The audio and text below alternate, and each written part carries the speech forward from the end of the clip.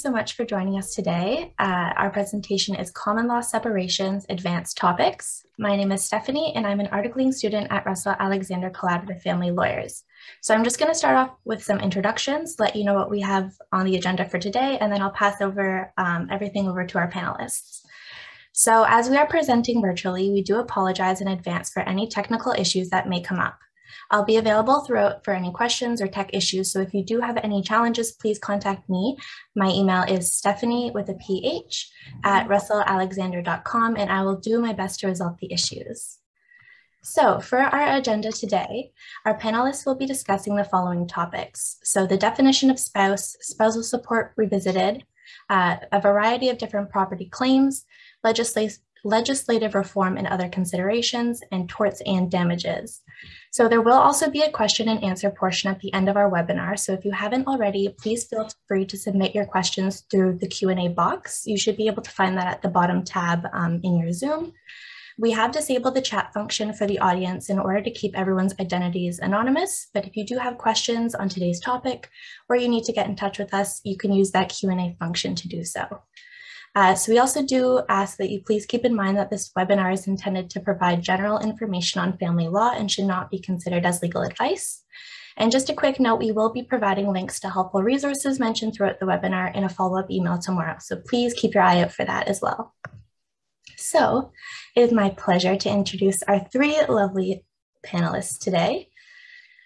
So Adam, Adam is an associate lawyer at our firm where he practices in all areas of family law, including collaborative family law, divorce, child support, spousal support, domestic contracts, and property related issues. Adam represents clients in litigations, negotiations, and various forms of family dispute resolution. He was called to the bar in Ontario in 2013 after graduating from Bond University in Australia. Uh, prior to joining our team in 2015, he practiced both family and criminal law, and if he's not working with clients, he can be found spending quality time with his family or playing sports. And we have Bill. Bill is a managing associate at our firm. His courtroom experience includes numerous motions, several full blown trials, and he's also had the privilege of winning a major family law victory at the Ontario Court of Appeal in 2014. Uh, Bill, what was the name of that case again? It's McConnell and Huxtable. It's a limitations case.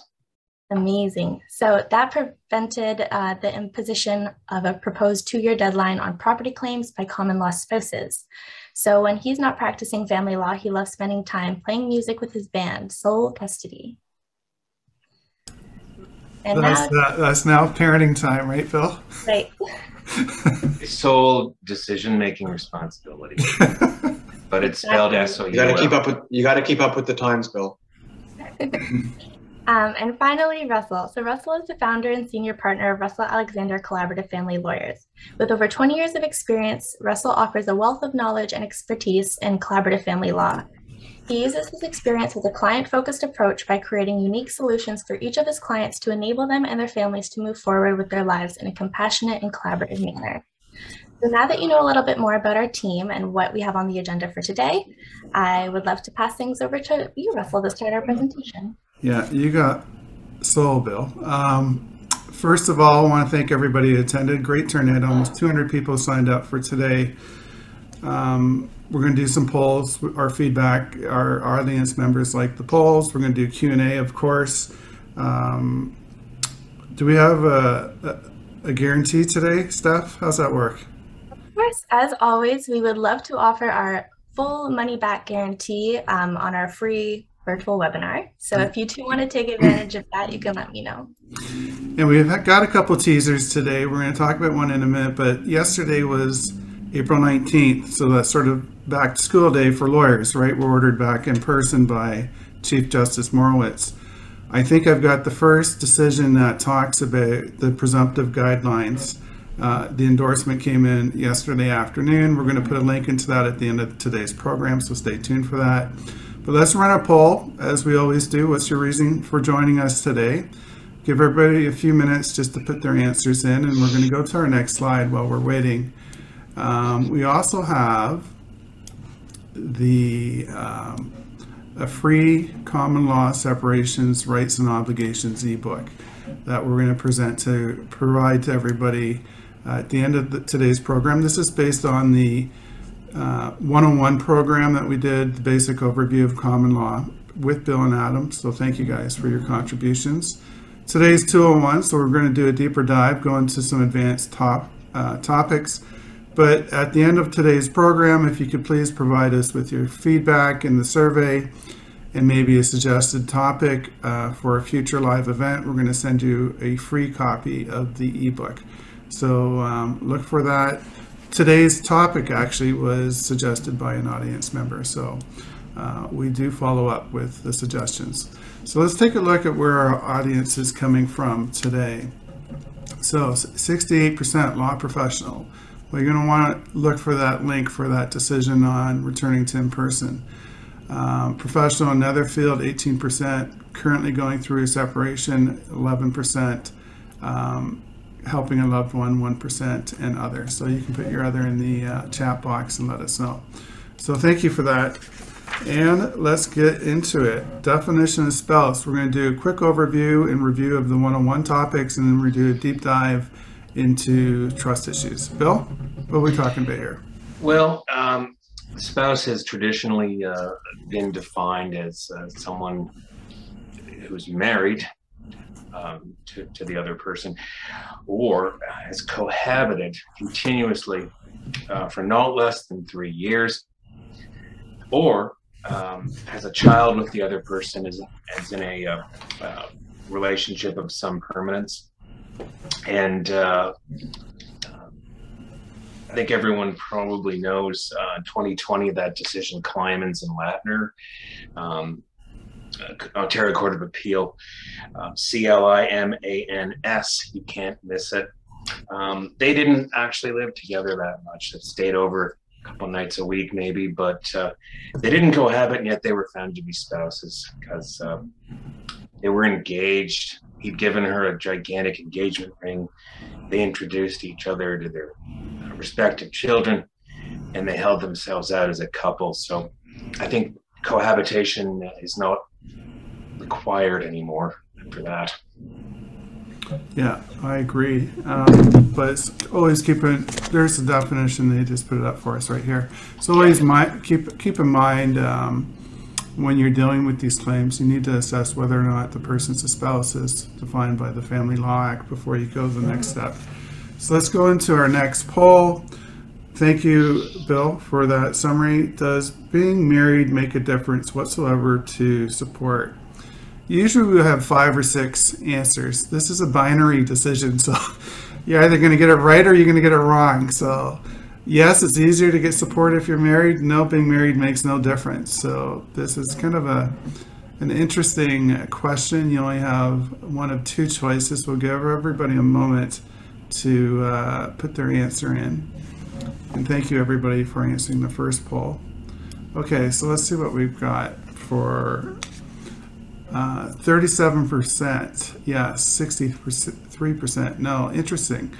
All right, so spousal support revisited. Real quick, Adam, what you, what's the answer to this question yeah. and what are we talking about? Yeah, thanks, Russ. I really don't think there's any um, major difference between being married and being in a common relationship when it comes to spousal support.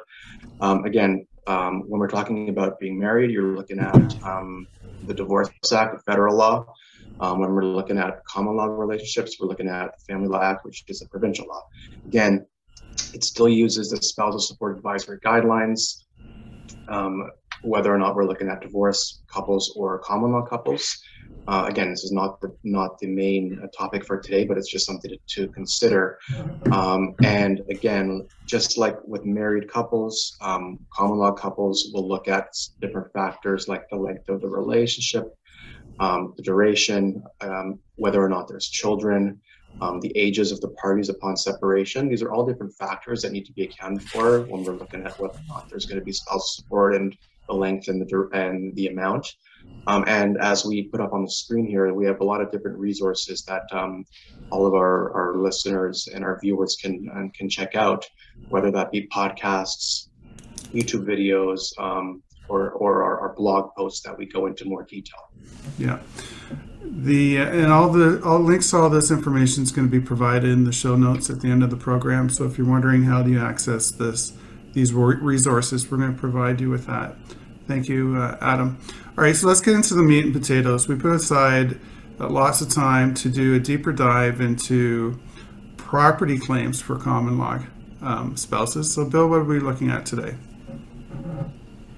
Well, Russ, as you know, I always like to look at the history of, of the law. And uh, when it comes to common law separations, uh, we have the law of equity to thank uh, for the fact that property division is possible.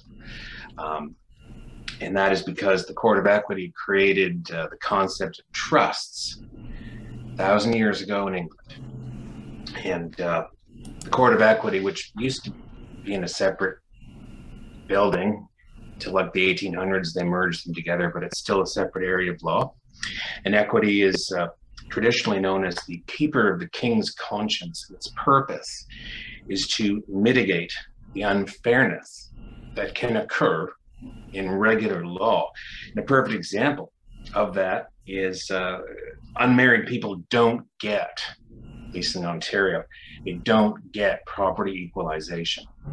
And that um, can be very unfair. So equity jumped in and using the trust weapons that equity created, such as the joint family venture, property division can happen with unmarried people. All right, so let's talk about resulting trust, Bill. Um, what what I have an idea, but tell us about resulting trust. Right, this is usually you dump some money into the property, yeah. right? Maybe a classic example is one spouse has bad credit, right? And so the bank says, okay, we've got to put it in the other spouse's name and maybe the other spouse and their parents just to qualify for the mortgage. But the one with bad credit still puts, you know, 20 grand into the property. And the idea is, you know, they're going to transfer it over once the credit clears up. So, but that creates a resulting trust, right?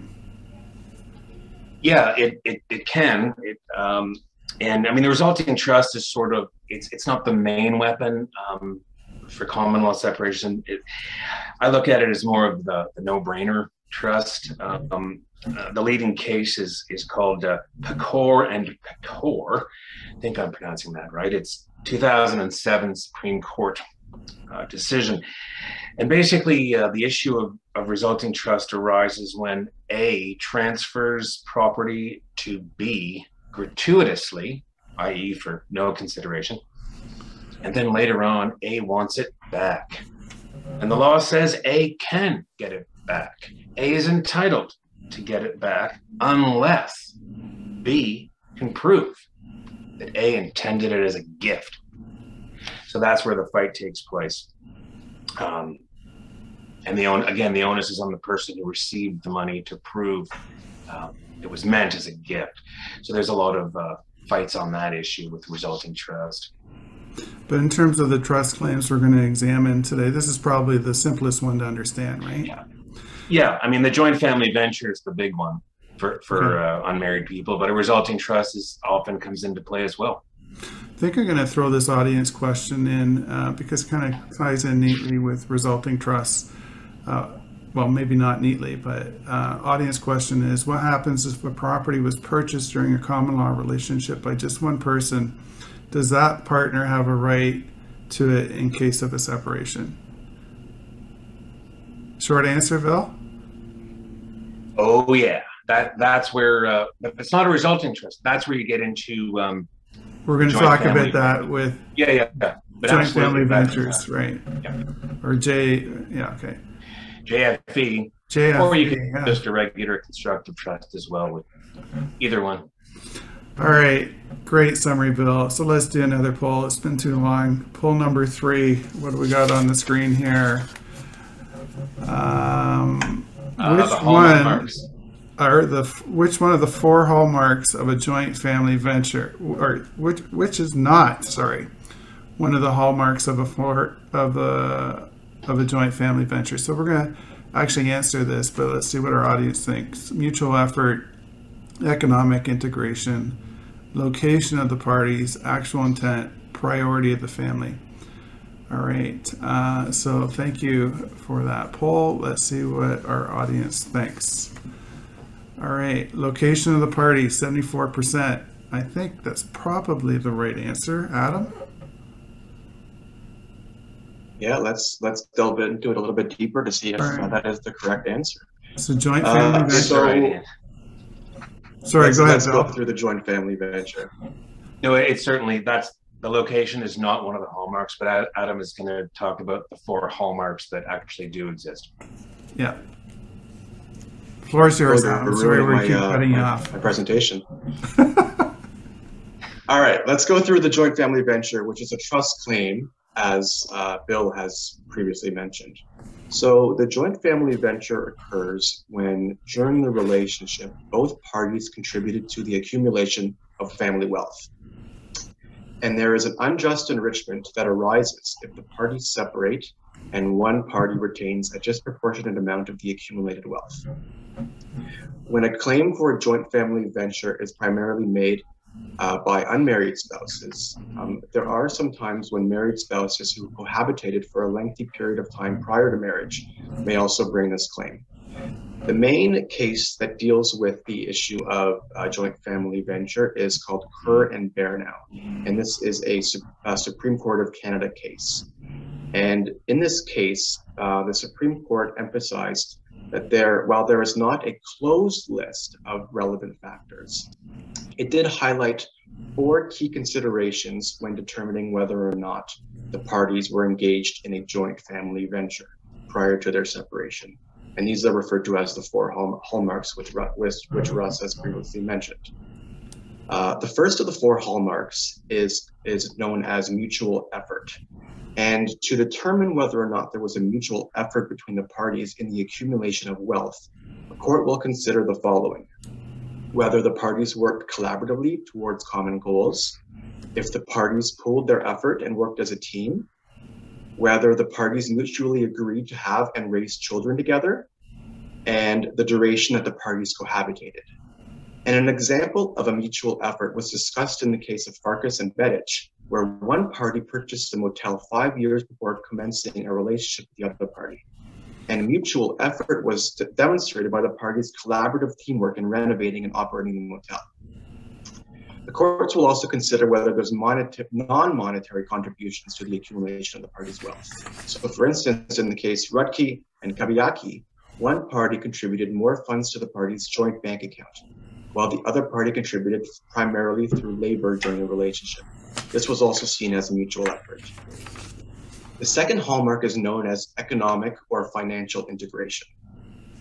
To ascertain the degree of independence the, and integration that characterizes this relationship, the parties, of the court will consider whether or not the parties integrated their finances and to what extent, whether or not they had joint accounts, whether or not they held jointly held assets, and whether or not they had a common pool of savings. So, for example, in the case of Sullivan and McCarthy, 2017, uh, the courts found that the transfer of funds from one party to the other in order to pay bills was found to constitute a financial integration. The third hallmark is known as actual intent. The court will consider whether or not the parties made a conscious and deliberate choice to participate in the economic integration and may examine whether or not the parties' um, conduct indicated that they intended to share their wealth and what for what they had uh, accumulated together. The parties' relationship reflected a partnership in a social and economic sense. If the parties ever accepted or referred to their relationship as something that is equivalent to a marriage. Whether the parties held themselves out as married to other people. Whether the parties held title or joint tenancy to any kind of property. And whether or not the parties planned for property distribution upon death, whether or not there was a written will or a verbal discussion. The fourth hallmark is known as the priority of the party. To determine whether or not the parties prioritize their family in their decision making, a court will contemplate if one party exhibited a detrimental reliance on the success and the stability of the relationship for the sake of the family or for economic security, left the workforce to raise children, relocated for the benefit of another party's career, thereby giving up their own employment, sacrifice their career, career advancement, or economic or educational advancement or economic advancement for the benefit of the other individual or the family, or accepted underemployment to balance both financial and the domestic needs of the family unit. Now, I should note, it is not necessary to have all four of these hallmarks present to establish a joint family venture. But in the leading case of Kerr and Baranow, uh, the courts found that um, uh, the courts found that there are not a checklist of conditions for finding um, that the parties were engaged in a joint family venture. Rather, they were simply they simply provide a way to establish uh, an analysis of the evidence uh, and some examples of the relevant factors needed to be taken into into account. So what we can garner from that is it really goes it's really a case by case fact by fact scenario by fact scenario basis that the courts will look at whether or not they've been able to establish uh, a joint family venture and it's going to be on the onus of the party seeking the joint family venture to go ahead and prove those those hallmarks. A great summary, Adam. You know, this provides a good roadmap. So if you're counsel, right, to start mapping your evidence set in these four categories, there's going to be lots of evidence set there. You know, how they filed their tax returns, whether they said they were in partnership, you know, pooling of the resources, who was paying the bills, joint account, family photos, right? You know, you brought your new partner into extended family for various holidays or weddings or celebrations, funerals, whatever it is.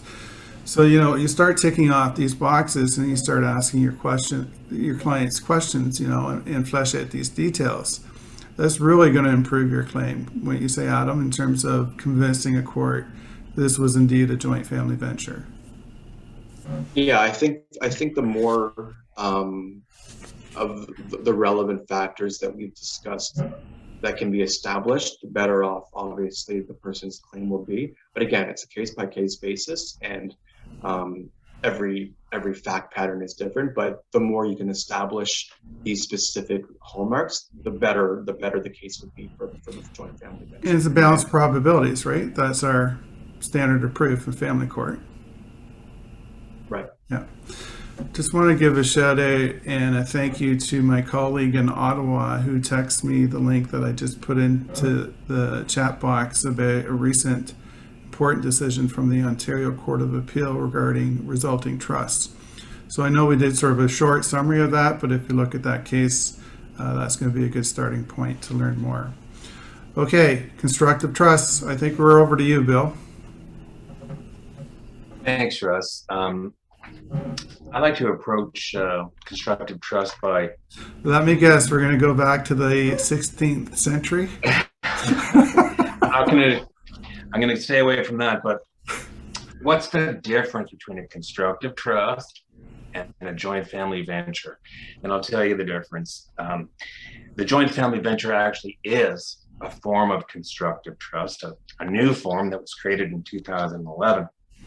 And the difference is unlike a traditional constructive trust, a joint family venture is not asset specific. On the contrary, it seeks a share of global wealth growth from any and all assets. And you can compare that to um, the seminal Canadian case uh, for a constructive trust, which is 1980s uh, Becker and Pettkus, where uh, Ms. Becker got half of Mr. Pettkus's farm because there was a clear link between her contribution and the farm's value, and the claim was specific to the farm. It wasn't about anything else. And there probably wasn't much else anyway, but uh, it's a specific claim. Whereas uh, joint family venture goes after global increase in wealth. Um, and the way you move from a constructive trust to a joint family venture is you satisfy as many of those hallmarks as you can. And that is the key that opens the door to the global targeting. Um, and as we talked about at the beginning, too, uh, when you do a, a, joint family venture, you um, you subtract any benefits that the claimant received uh, from from the award. So it's very it's very labor laborious. Um, uh, the late Phil Epstein used to say, like, try not to do these; they take forever, you know. Uh, but you have to, you have to do them because unmarried people don't have equalization, so you kind of have to. And the result in a joint family venture uh, claim is unpredictable. It's as Adam said, it's uh, it's a case by case, fact specific thing. Um, there are cases where they came up with a number and there's no real explanation. It's almost random, which confirms the old saying about equity, uh, which is this: equity varies with the length of the judge's foot. So you want to draw a judge with a big feet? Is that what you're saying? Well, it's very case by case. So you can't Right. really predict, which is in a way good because it does address the particulars of each case. It's custom tailored, but it takes forever and equalization's way easier. Well, and it makes it Yeah, difficult was for difficult for us, right? Our clients Yeah. want some certainty or a ballpark. And then what about costs, right? How much does it cost to run one of these trials, Bill? A billion dollars. Yeah. So let me uh, well, pepper that's you. what I was going to say, Russ. Go ahead. Sorry, I was just going to say, I was just going to say, Russ, that you know, there's a certain amount of certainty um, with equalization Yeah. uh, of, of of marital assets and debts, right? Um, but when when prospective clients or clients come to us with you know a fact pattern whereby they were never married and there's there's all these assets and debts um, and are looking for guidance as to how to deal with it. Um, in all honesty, the law is, is all over the place with with similar um, uh, trust claims.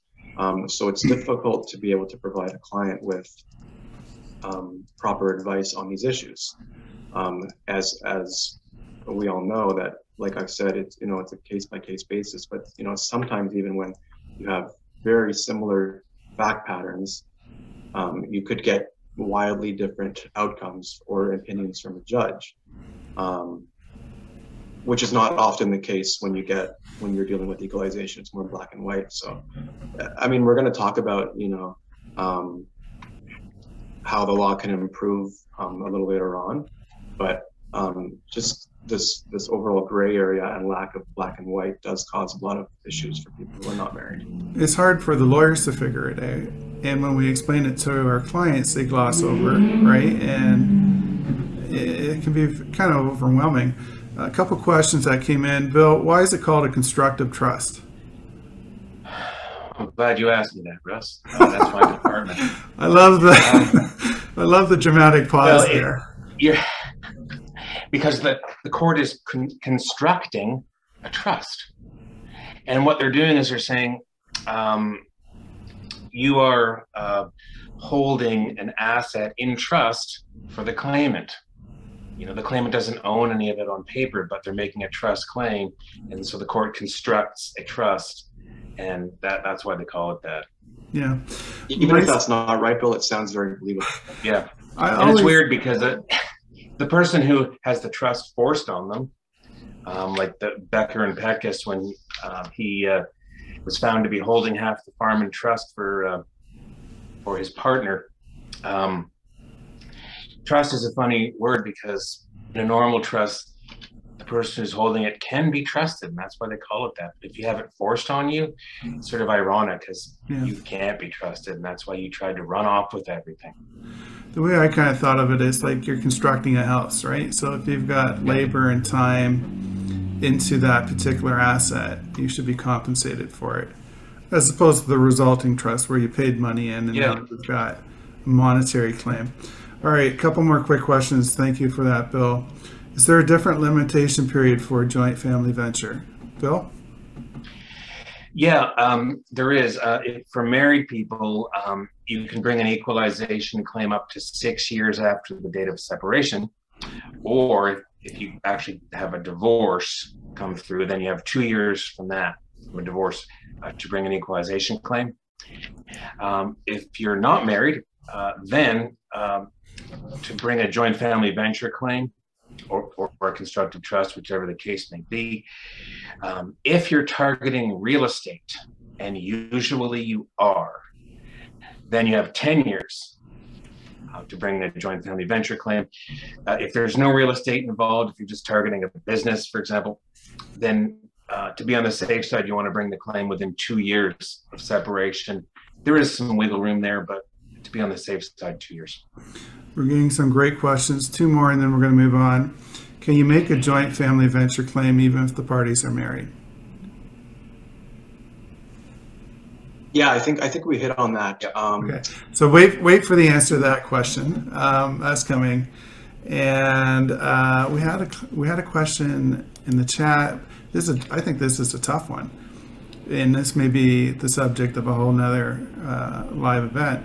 Bankruptcy and its effects on trusts. Well, if the person you're making a claim against is bankrupt, right, that you're going to be dealing with the trustee and other creditors.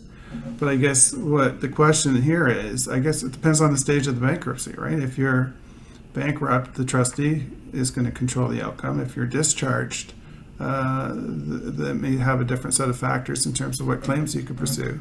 Thoughts on that one, Bill? Um, it's not it's not something I've ever uh, had to deal with, so I don't really, to be honest, I've Okay. never run into that personally. So Yeah. the answer it is can't be good, whatever it is. Can't the answer is contact the bankruptcy lawyer and ask him or her. yeah.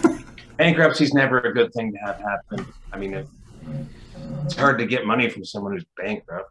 Right.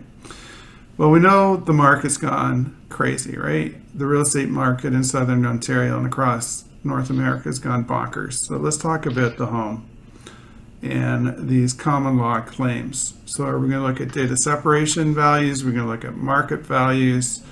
You know, it could be Yeah, you go. is- There could be a six hundred dollar swing if you separated two years ago, right? Um, so Adam, this one's. Yeah, this is yeah this this is becoming a, a pretty huge issue um, in family law.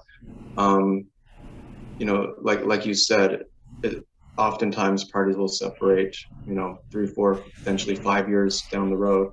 Uh, in the in the past, um, they've been trying to resolve their issues. They may or may not still be living together in the same home. Um, and now um, they're trying to come up with a separation agreement or they're in court um, and they're you know trying to prove joint family venture um, what value are we using for the home are we using today's value are we using the value from when they separated a couple years back um, and what the courts have been saying uh, now is that in, in a joint family venture case assets are often valued as of the date of trial um, or as of the date of you know today rather than rather than the date of separation. This is not a guarantee. Um, there are other aspects when this is not the case, um, but there is strong support that that this is um, what what the, the courts have been doing. Uh, for That- example, That's a fairly recent approach, right, uh, Adam? Like two years ago, Yeah, I think yeah, they were going yeah. with data separation, but we've got some recent case law. It's going to be in the show notes where we're seeing. Yeah, so in the case of yeah, so in the case of Gonzalez, uh, the court found that when there was a joint family venture and they look at a subject pro- uh, the property, they look at the the value as of the date of trial and not separation. And the difference in that case, the home was valued six hundred thousand dollars more as of the date of trial than it was at the date of separation. And the court stated in that case that if there are inflationary increases in housing prices, that are available to a title holder, there is no principled reason to withhold them from the proper claimant under an unjust enrichment or joint family venture claim. Uh, so they really see it as um, if you can make these claims, then there's no reason why they would treat you any differently than being a proper title holder on that property. Those cases scare me. Um, you know, if you're representing, Oh, if you're representing the owner, right? This this is a huge risk. Going to roll trial. You're going to run a trial and have a six hundred thousand dollars swing on one issue. It's going to affect your offers to settle. There's going to be cost consequences. You know, it's probably an appropriate case to come up with some type of resolution uh, because there's so much uncertainty. And I think the court may have gotten it wrong. So, I, and we were talking about this. The, the basis, right? We're looking at enrichment and deprivation. Where is the deprivation when the market value goes up? Like, how is that? You know, Bill, help me out with this concept because you didn't agree with me. You know, we're just the the courts. Well, again, again, I, I, I, I see what you're saying, um, but if, if you've got I think the depri- you look at the deprivation as what occurs after they break up, um, which is a different way of looking at it, but you can make that argument. And if you've got a very clear link between the claimant and the home or and other assets as well, which typically involves, you know, caring for the children while the other person goes out and works and stuff. That's that's the strongest link.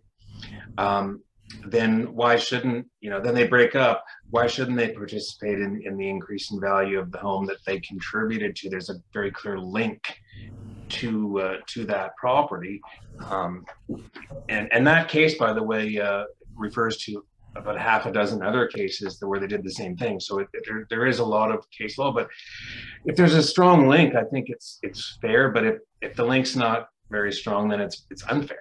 You've got to look at each case. But you're going to get yeah i think if you can est- i think if you can establish i think if you can establish um, a lot of a lot of aspects from the from the hallmarks that we've talked about Yeah. you know whether or not they've given up a job to be home with the kids or if they've or if they've moved from one area to another to be with this person yeah. um, they put their you life you blood could- into you the could- you- relationship you- yeah, you can make you could you could realistically make arguments that they've been deprived um, of of making you know of of increases in value for their sacrifices, right? Um, I mean, you would have to make those arguments, but I think that's what you'd have to you'd have to Yeah. you'd have to argue. all right so let's pretend for a moment i still But I don't- agree with but I agree with you, Russ. let's pretend for a moment I still don't like it. What what what are the fact scenarios where the judge is going to say we're going to go with data separation value, we're not going to go with market value? When the links are weak, weak is that what you're suggesting, Bill? Yeah, I mean, Links to the so. specific Yeah. asset, not the relationship. Well, it's it, in the joint family venture. The link is to all assets, as we've said. But yeah, it, it it's always. I mean, children are the big indicator to me. Like if there's no kids and the, the claimant really didn't contribute much and didn't give their lifeblood to the relationship, and there's there's not that much of a link between them and and owning the home, you know, um, relatively short relationship. yeah, then then then then it wouldn't be fair for them to get to participate in the in the increase. But uh, again, if there are, it's usually kids and and just being all in in the relationship. Contributions overall. Yeah. Yeah. So I think you're right, Russ. If there if there's no kids and no link, then I think a court would not do that. But you're rolling the dice, right? It's a gray area, and you never. Anybody who's run a trial, you know, you think your evidence is going to come out a certain way, and it doesn't, right? and now you've you're, you've exposed your client to some significant liability, or if you're or if you're pursuing Yeah. a case, right? There, that's six hundred thousand is enough to fight over, right? Best case scenario, in my opinion, would be just be to try to resolve it without obviously going to trial and coming up with a number that both parties are ha- relatively happy with to, to move forward with. It's a risk on both sides, right? Yeah, lots of money is going to get flushed down the toilet in terms of legal fees arguing over that, and you're not going to recover those fees. And the case may be subject to an appeal, which could delay the resolution two or three years further down the road. All right, so we've gone long enough without a poll. Let's get back. Let's get great discussion, guys. I really appreciate it. Um, let's go to our next poll question. We have it on the screen. Are common law couples entitled to CPP division upon separation? So we've given you three options. It's not a binary choice this time. Um, yes, no, or it depends. And we'll give everybody a moment to answer. We did get some questions in the chat box. Thank you, everybody, for sending in all the comments. Uh, somebody was looking for the case that we just mentioned with respect to um, current value of the home. All that's going to be in the show notes that you're going to get at the end of today's uh, presentation. So you get a follow up with the links and the references to the cases um, and the citations. So that's coming. Um, this is kind of an interesting question. Does it matter if one moves out and no longer contributes to the home? So I guess the, I guess the question is here, you've got your data separation, the common law spouse moves on, and now second to inform the court's decision in terms of what value to use? I think that's what we're being asked. Bill? Yes, yes, it would. Um, they tally everything up, and it, they call it mutual benefit conferral. Um, and uh, in, in the process of doing that, they do take that kind of stuff into account. So Well, I think Yeah, there's, cer- there's certainly going to be a set off, right? So if one person Yeah, is carrying the, the mortgage payments, the property tax, the insurance, and the other person's successful in the claim, they're going to set off 50% of whatever those notional, well, they're not notional, they're real expenses that they incurred, right? Yep, abs- set off's a good way of looking Yeah, at it. uh, uh, I, I'm, I have a similar file with, with this, you know, similar back pattern. And we were told that, um, if there's, because, because there may or may not, because there might have been a, a spousal support claim, um, for the, for the party, um, who may be getting the, the credit, um, on their behalf, then that would, that would mean there's really no, you don't deal with any set off in terms of any kind of post-separation Yeah. adjustment, so Yeah. if one party may owe the other party spousal support and the other and they've been you know keeping the home together for the past year or two um, that may offset with, with any kind of uh, quite, adjustment in terms of the property it's quite common that those household expenses are fairly close to what a support order would be if you run the, the Right. SSAGs, right? So, all right, let's see what our audience thinks on this one. Well, 35 yes, 26 no, 39 depends. So fairly evenly split. Um, do we have an answer to this question? i think the answer is yes i think that if you're in a and, and you and you can't you can't really contract out of it Mhm. um, i know we people have tried to and it's it's not allowed uh, I think if you're in a, in a in a relationship with more for more than one year and you and you're separated for more than a year, um, what I think the law says is that you have four years to request to request the the credit split. I think that's what the law says about that. you need to make the application, right? Now, when we first did the one-on-one session of this program, we talked about pensions. I said I know of no cases where somebody successfully claimed, uh, made a claim against somebody else's pension, and now I'm eating crow. I'm going to be updated here by Bill, but at that time there wasn't any case law. And I think Adam finally came across a case he was litigating that um, Justice Kraft made the order, and not a lot of analysis, but um, that litigant wasn't really playing nice and got the book thrown at him. That's sort of my Coles Notes version. But Bill, let's talk about pensions. Really important subject right now. Really um, sort of a growth area for family lawyers. What are we looking at? Well, he- Russ, not only was that guy not playing nice, he didn't show up for the trial. Um, That so- doesn't help. It really didn't. It didn't help him. And Mel, uh, Justice Kraft uh, laid down 87 paragraphs of "You got to pay, my friend." um, so, 14 year relationship. It's called. Uh, it's in the show notes. It's called Hughes and Vicente 2021 case. There it is. Um, so yeah, I don't know if it would have been different if the guy had actually turned up at the trial. I forget why he wasn't there, but he might have been struck. I forget. Um, then we can move on to another one. It's called Cloutier and Francis. There it is. Um, that's a 2011 case, um, but it's a bit weird. There's an 18 year cohabitation. Um, there was a joint family venture. And here's the weird part the court ordered uh, a payment of $57,000 within 30 days. And the pension was divided only after the man failed to meet the deadline. So, um, So that really- that was sort of a security yeah, payment. It wasn't necessarily Yeah. a direct split, right? Yeah, it's it's not a great theoretical support for the idea of going after a pension, but um, and then we've got some cases uh, where the pension was not shared.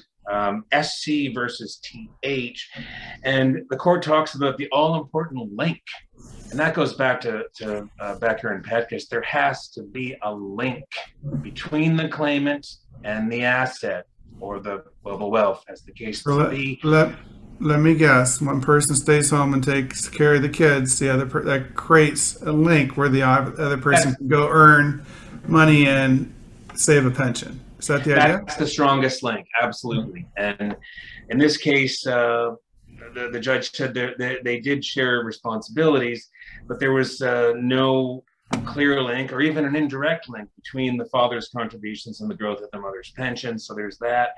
Um, there's a case called Raleigh and Raleigh. Um, again, uh, no link.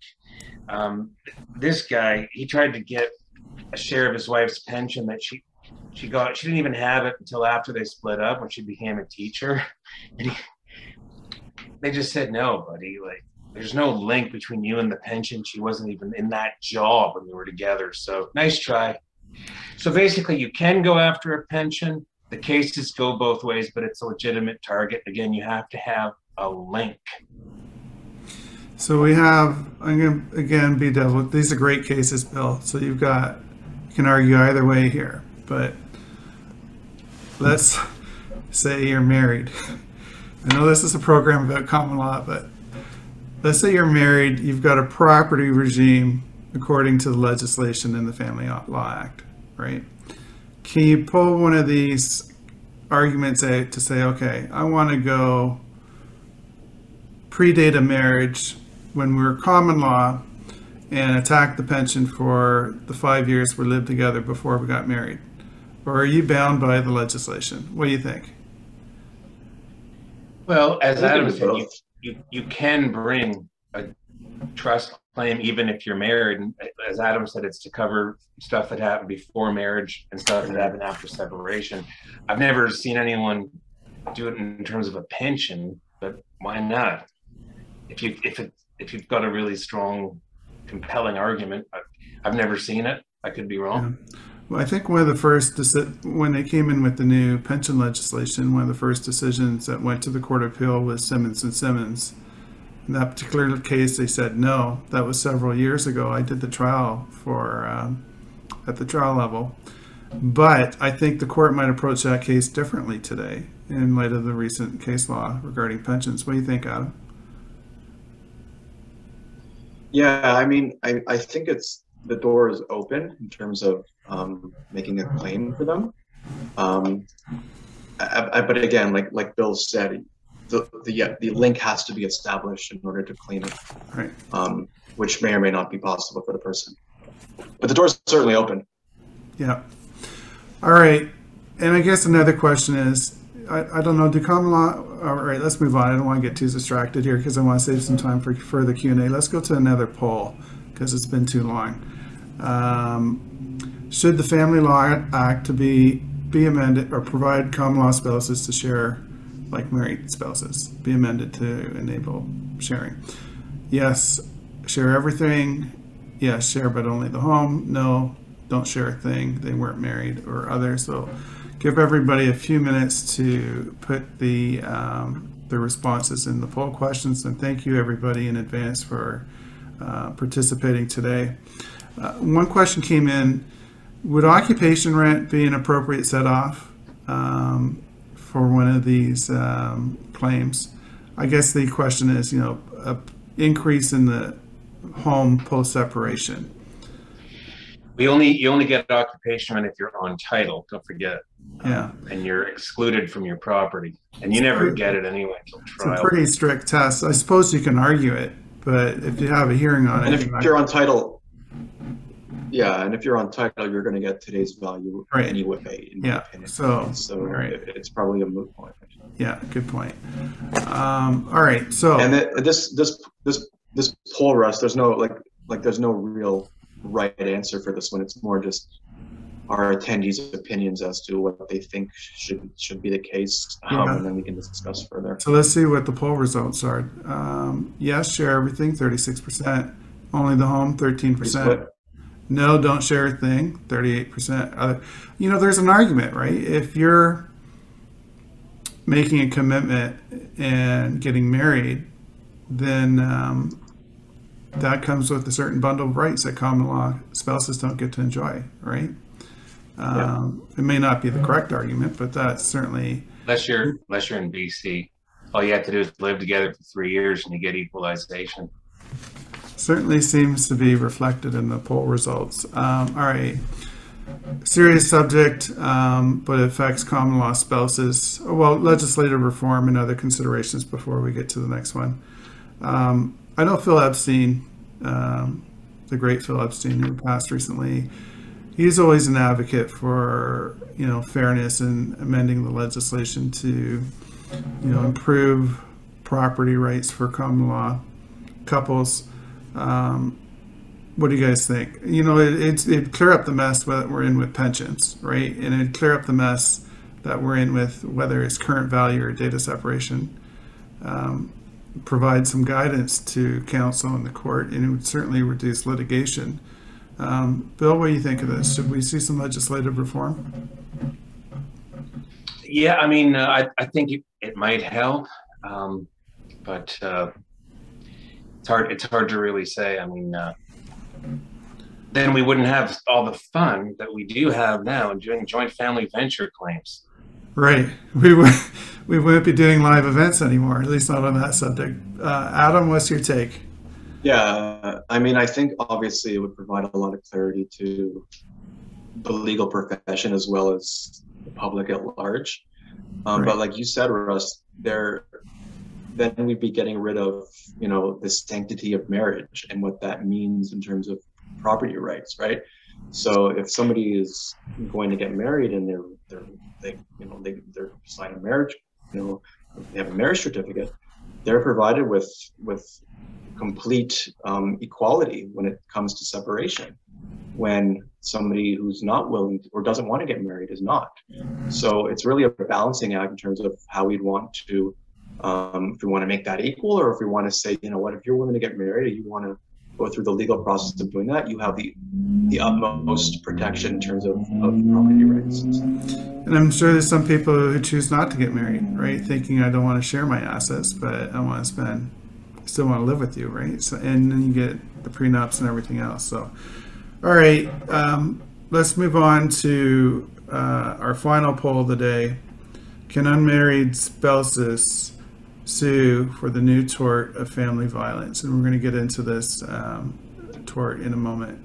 So, um, some people may be familiar with this case we'll just leave up that that up there for a minute. But Bill, let's get into well, let's see what the poll results are, and then we're going to wrap this up with this and go into some Q and A. Yes is um, the answer. Is that the correct answer, Bill? Yes. All right, let's get into it. Yeah. Tort, torts and damages. We'll tort, torts we'll and damages in three minutes or less. But uh, yeah. the floor is yours. Well, the, uh, the, there's a recent case. It was it made the papers. Um, uh, it's called A and A. You can't miss it. Uh, it's created a new tort called family violence. Um, the wife was awarded 150,000 for it. Um, the court did state it was rare and unusual, um, and it's under appeal. So we'll see if the tort survives the Court of Appeal. And what's different about this, this new tort called family violence is that it it's an elongated tort. It occurs over a period of time. As the court said, quote, the uniquely harmful aspects of family violence are not adequately captured in the existing torts. Uh, the existing torts are focused on specific harmful incidents, while the proposed tort of family violence is focused on long-term harmful patterns of conduct that are designed to control or terrorize. And that's what happened in this case. It was a 16 year reign of terror. There were three incidents of uh, bad physical violence, um, which were, were compensated. And the judge said, well, if the tort of family violence gets overturned, uh, we can still use the tort of assault, which has been around for a long time. Um, also, an interesting example here of coercive control which uh, and if that tort doesn't survive, then it's going to be intentional infliction of emotional distress, which is the traditional tort. Um, the husband had complete financial control here. Uh, the wife gave him all of her earnings. As late as 2011, she still didn't have a cell phone. He repeatedly threatened to leave her and the children penniless.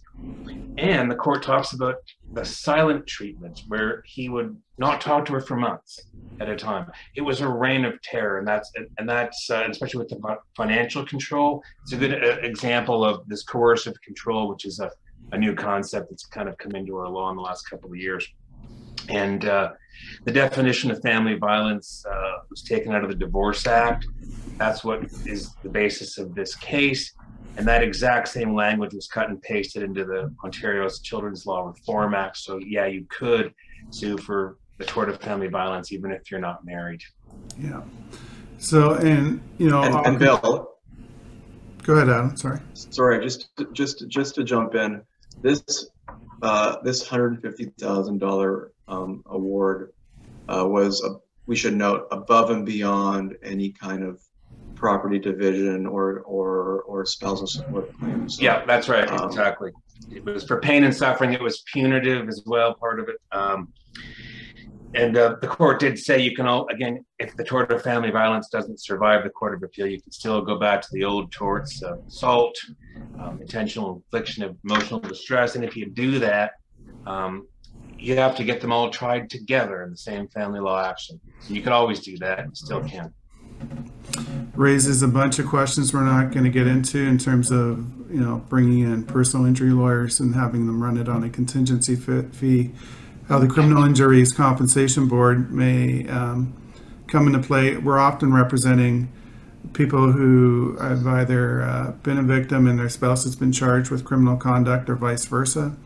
Uh, so if you're practicing family law, this is something, if, and your client's been a victim of domestic abuse, you may want to include a claim uh, pursuant to these torts. And I see Steph is back. Welcome back, Steph.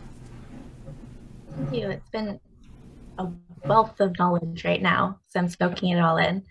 Uh, so Russ, I don't know if you want to move along to our question and answer. Yeah, let's, let's try to get a question and answer in. And um, All right, so I'm just going to quickly remind everyone um, before we get into that that we will be having a survey that pops up in your browser following the webinar. So if you do have time, we welcome and appreciate any feedback you have.